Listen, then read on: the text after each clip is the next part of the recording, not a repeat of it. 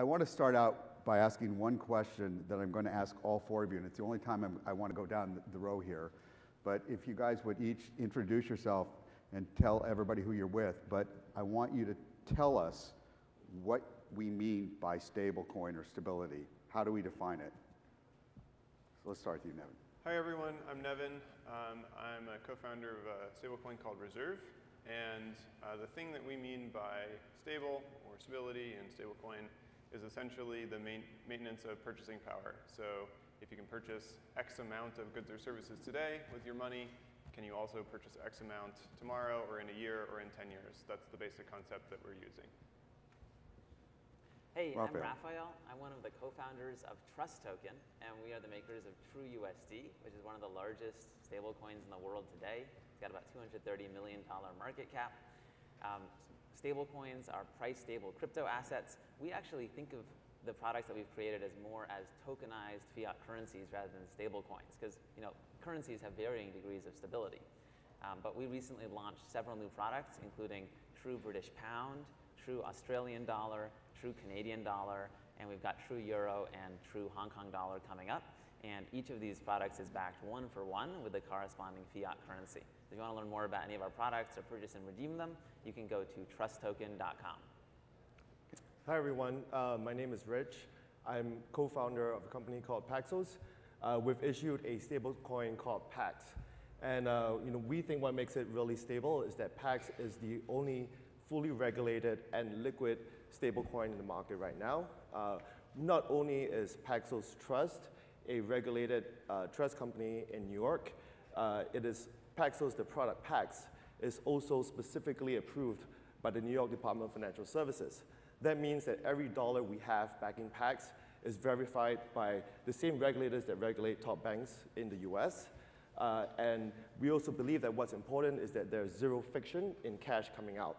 So uh, we have processed, um, from what we can see externally, more redemptions, people getting cash from their stablecoin than any other stablecoin we're aware of.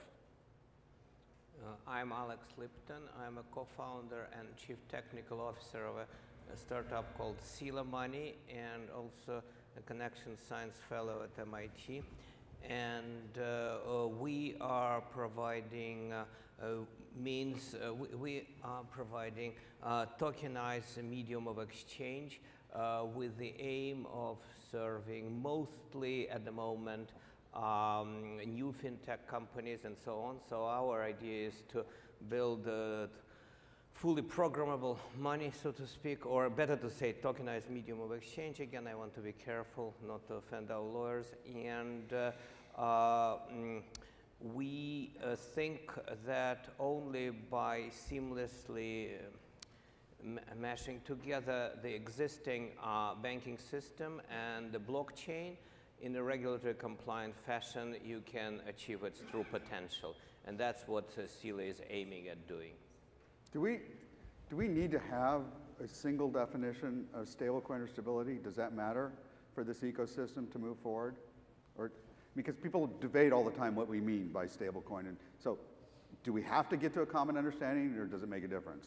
Uh, Raphael, you're shaking your head. What do you think? I, would say it doesn't make a difference. Okay. In fact, I think the term stablecoin may actually go out of vogue because at the end of the day, the reason why people buy our products is not because they're just stable. It's because they, they want exposure to those specific fiat currencies or those specific underlying assets. So people buy true USD, true British pound, and so on because they want to hold the US dollar, they want to hold the British pound, they want to have that product. And I think that the line of what makes something stable versus unstable is very fuzzy. So we, we think about it as, uh, um, you know, and we, you know, we view that different stable coins have different users out there, so the definition can change.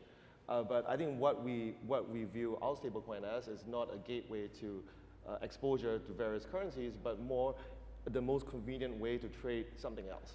So we just want to be the base currency of that, so the most convenient way to get in and out of crypto. And potentially in the future, the most convenient way and legally get in and out of various other tokenized assets.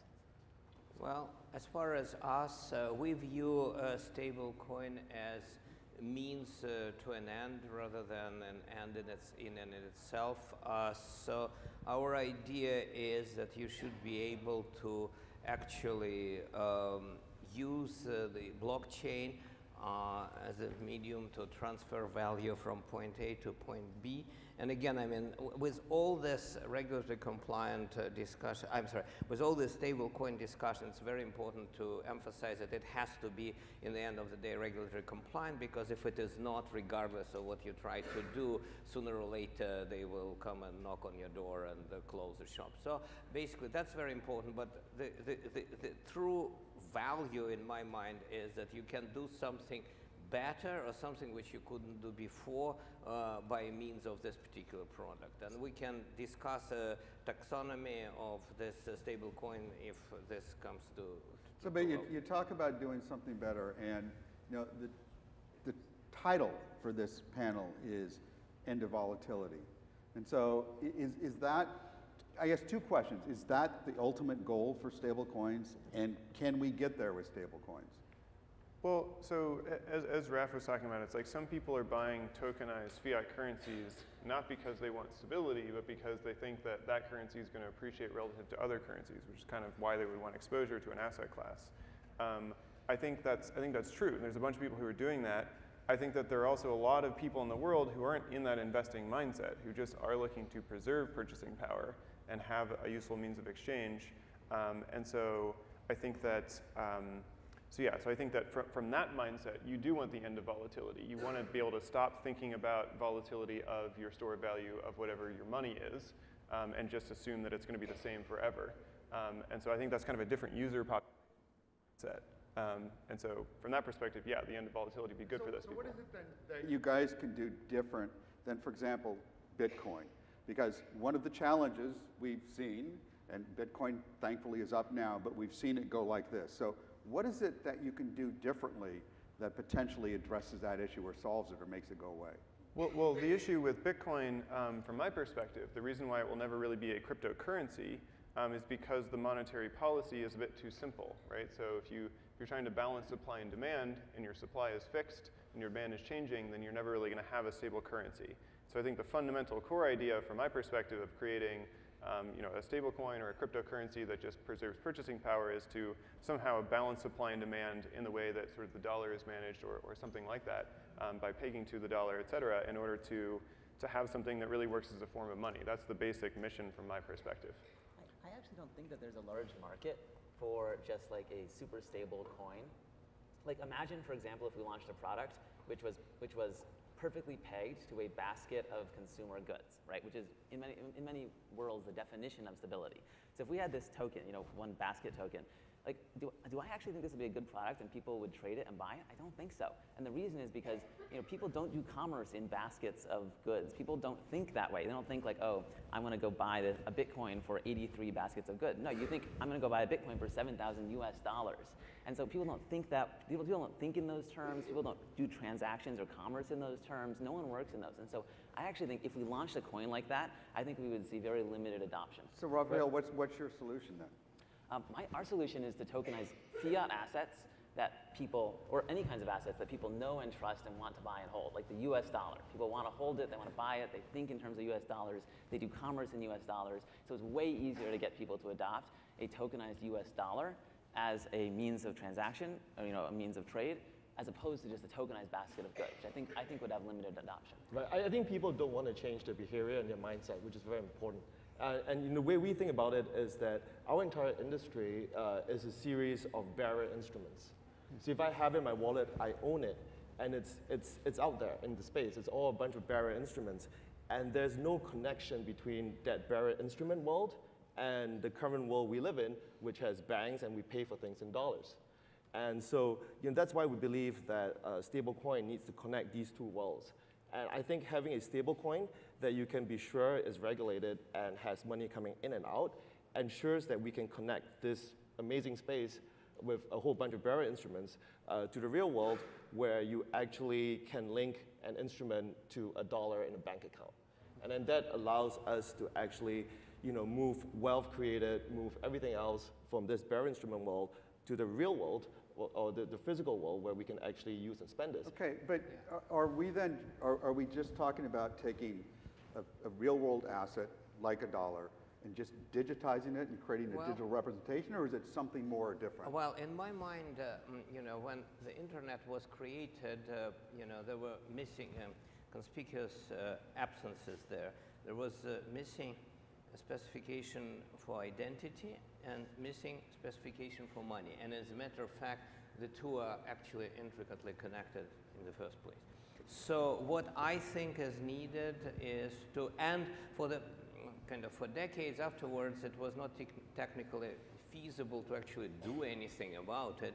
But now, with the advent of um, blockchain and this way of thinking, we actually can uh, imagine that at least parts of this gaping holes can be filled, and in particular, the protocol for money can be filled as long as you build, um, you know, something uh, which is related, as the previous panelist said correctly, mm, to the uh, underlying world.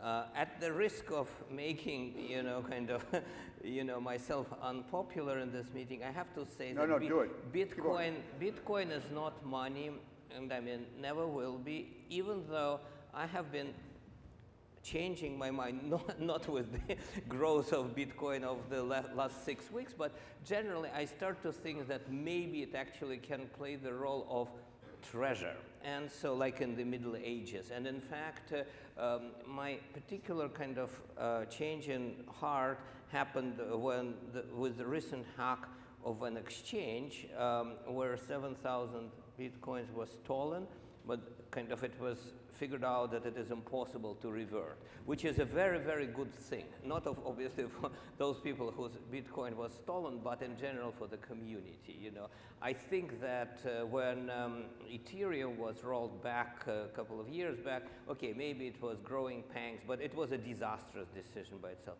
Anyway, so what I think is necessary is something which is linked to the real assets, and it can be done at different levels. So, for example, at Sila, right now we're considering fiat currencies, but at MIT we're thinking a little broader and thinking about what we call digital trade coin, uh, which is backed by a variety of assets and can facilitate trade within the whole geographical region. So, for example, Belt and Road and stuff like that.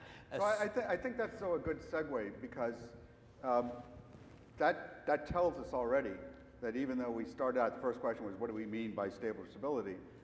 There are a lot of different ways to get there. So what are the different ways that the market is trying to create stable coins? And, you know, I'd love to hear your views on who's, you know, what makes sense and what doesn't make sense. You know, but what are we seeing out there right now? Well, so we're seeing the three main types of stable coins. There's fiat-backed stable coins like Paxos and TrueUSD. There's crypto-backed stablecoins like DAI, and then there's ones that are sort of you know, algorithmically backed and aren't holding any specific asset in reserve. And um, from our perspective, it seems like there's there's a convergence of the whole market on fiat-backed stablecoins as opposed to the other approaches. I think that there's a very good reason why we haven't seen any coins achieve a large market cap or large trading volumes from the other two categories of, of uh, crypto-backed or al- algorithmically backed. Um, and the main reason is people want to be able to, they want something that's simple and they understand, and also they want to be able to move fiat currencies easily in and out of the coin. So I I want others to, to chime in as well, but let me ask you just a very quick follow-up question. When you, when you, for example, say fiat backed, are we literally talking about somebody being able to take your coin and come to you and say, here's my coin, give me a dollar? Yes, that's exactly Okay. right. And that's what you can do today with Paxos or Right. TrueUSD. Well, I mean, in my mind, there are at least four ways of creating a stable coin, or at least four attempted ways of creating a stable coin. One, and the best, by the way, is uh, to back it with fiat, or if you think a little broader, perhaps fiat per se is not an ideal medium to back your coin, but something linked to it uh, in a somewhat um, more ingenious way, maybe a better version of doing it, but for the sake of this conf- uh, discussion, shall we say fiat. The second is attempt to build a stable coin partially backed bis- with fiat. That is kind of bound to complete failure and very quickly. And you know, kind of all these attempts Wh- to Why, why is that a failure? well, because if you partially uh, stabilize your coin with fiat, you know, sooner or later people will come and say, give me, you know, my coins and you will just do not have the enough collateral. And all these attempts in the past to, to stabilize things, partially collateralized kind of, they all ended in disaster. And we don't need to think about current situation, right? So if we think about the French Revolution, they tried to issue assignats because there was no hard uh, mm, mm, cash, and you know they had all the apparatus of coercion up to and including uh, Madame Guillotine, and yet they never managed to stabilize uh, uh, assignats, and they lost 96% of their value in two years, right? Did, did anybody predict, by the way, that we're going to be talking about guillotines and the French Revolution this morning?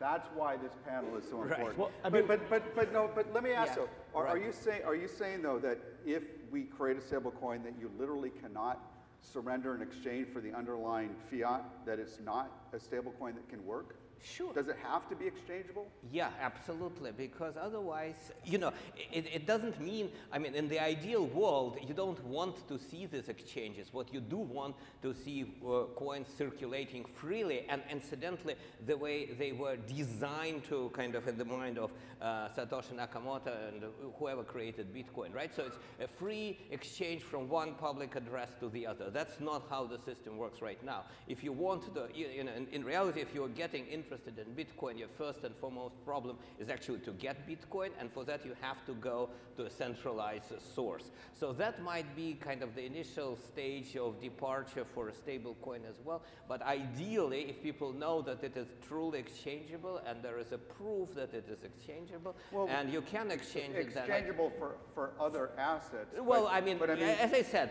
I'm talking know- about, can you, do you have to be able to surrender it for the underlying fiat? Well. I mean, it's a, it's a definition of stability, right? So, in, in a sense, uh, for example, if you are a US based uh, individual, for you, euro is not stable.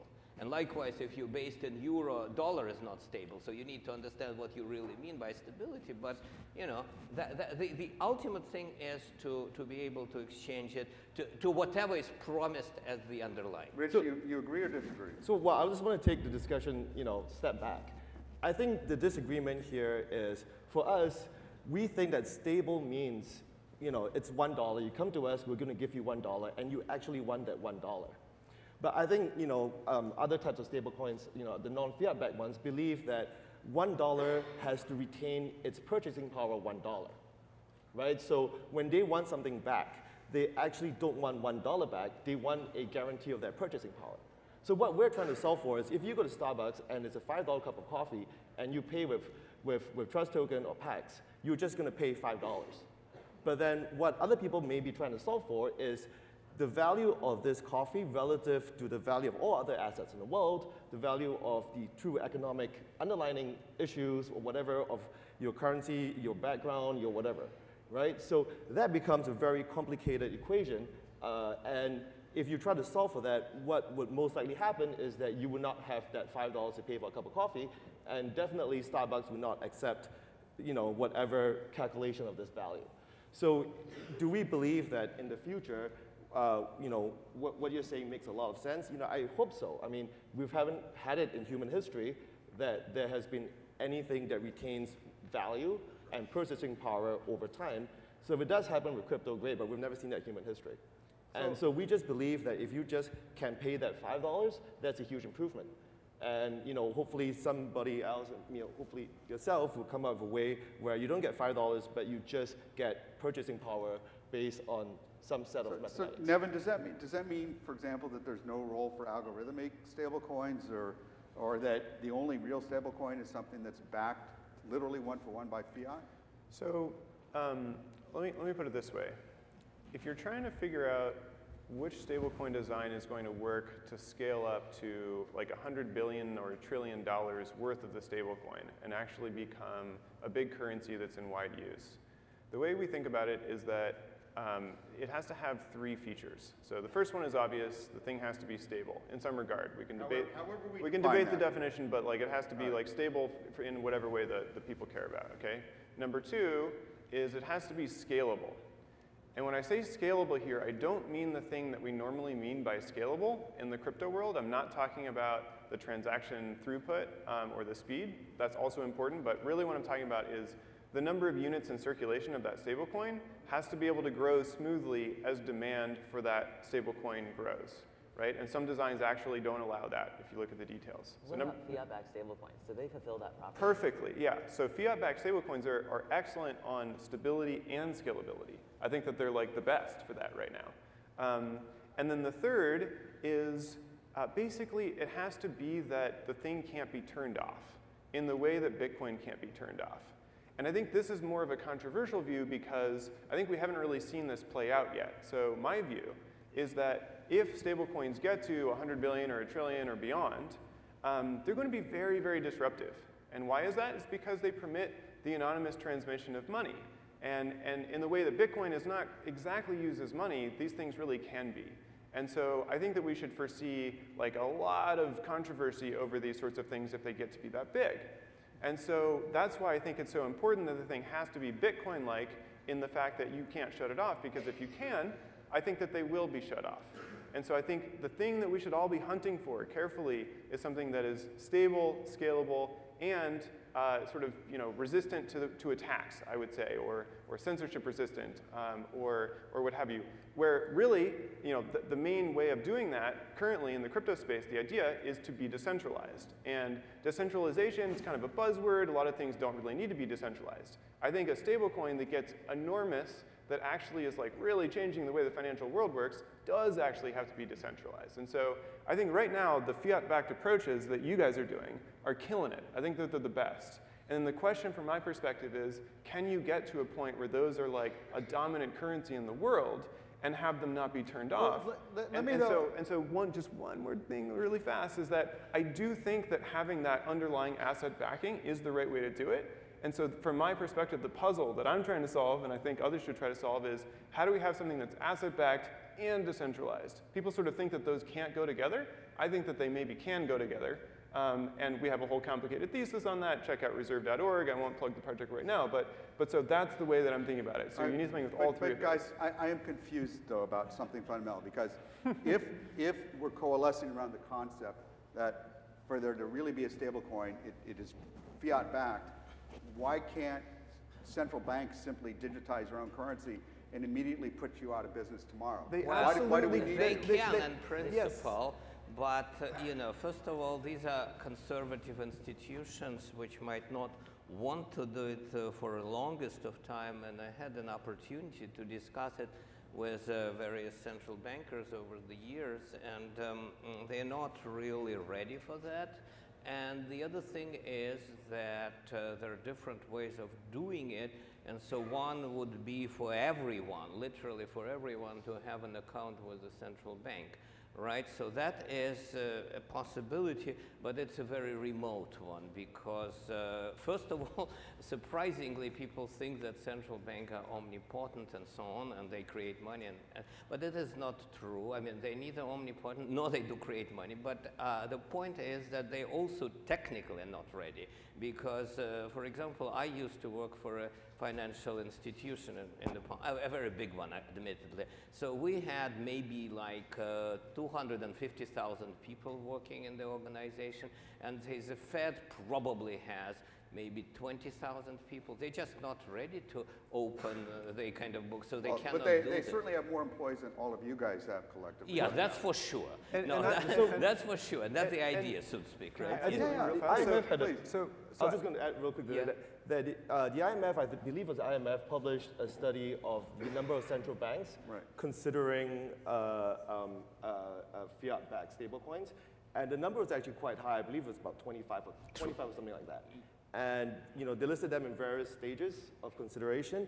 And I believe, you know, I've been in this industry since 2012. I believe the first ones that I read off was probably Canada, 2013, possibly. Well, but it, it moved nowhere. But I they mean, did write. I, so I, I, I know, know the guys who wrote the and, this uh, white paper and so on, but they were Right. very proud of themselves. And- And, but I mean, nothing came out of it. Right. So I mean, you know, you know, we, you know, we, you know, we do believe that, you know, that we view not so much as a massive competitor, but really the killer app that makes this a lot more mainstream. More, So- so more flexible than a central bank? You know, uh, more flexible, something that, that, that, that, that is an acknowledgement that this thing could really become mainstream. If a central bank, if a central bank feels that fiat-backed stablecoins on the blockchain is the way that governments should be ran, then I think this industry changes entirely. So whether or not you know stable coins or whatever, I mean, it's a huge game changer, right? So we don't view them as, oh no, please don't do that. Uh, we would love to work with them if, if we had a chance to. We'd love to include them. We'd love to interchange between them. I mean, you know, there, there are so many stable coins out there, you know, right now. If one had the legitimacy of a national government, I think it, it changes everything. So, um, so I, I think that it absolutely makes sense for central banks to do this. I think that they will. Um, and the question I ask the audience is, if central banks make uh, blockchain-based digital representations of their currency, will they allow people to transmit that anonymously? Or will they do something to try to track who's holding the currency? And I think the, if you look at the whole banking system, I think the answer is they'll do something to try to track who's holding the currency. And so then the question is just, you know, well, they are the central banks, so maybe that will win anyway. Maybe they can enforce that upon the world. But the way we think about it, if you look at all of the biggest businesses and all of the wealthiest people, people who have sort of real owned power in the world, if you give them the choice of something that is, you know, sort of the same amount of stability, one allows them to have, be more private and one that doesn't, which one are they going to choose? Well, I, I don't know. It depends on the regulatory regime and how costly it is to take the privacy, but people generally want privacy. And so I think that's, that's the question that I think is relevant if you're trying to figure out are the central bank digital currencies going to win, or is it going to be something else that's a bit more Bitcoin-like? So Raphael, if we look out one or two years, uh, where, where do we, where will we be? Are, are, are you guys replacing Bitcoin? Are you in a completely different part of the crypto space in Bitcoin? Is there going to be a number of stablecoins out there, or do we see one or two that win? You know, I know when we try to predict in this world, that's always a non-starter. But, but notwithstanding that, since I get to ask the question, what does it look like like two years out? Yeah, so I think, I think two years out, we're going to see a lot more tokenized assets. I think there's, you know, for any given asset like US dollars or British pounds, I think there's only going to be a handful of actual large coins because um, and that's, that's what we've including seen today. Bitcoin or not including Bitcoin? Oh, I think Bitcoin will totally continue to exist. And I think actually everything that's going on with stablecoins is very bullish for Bitcoin and very bullish for the whole space in general. Because you know, one of the key things that we're doing by building out different tokenized fiat currencies is we're making it possible for anyone to easily on-ramp every major fiat currency. So you can go to our app today and you can on-ramp four different fiat currencies and we're launching several more soon. And I think we're going to see it we're going to see assets beyond tokenized currencies, tokenized commodities, tokenized securities, tokenized real estate down the road.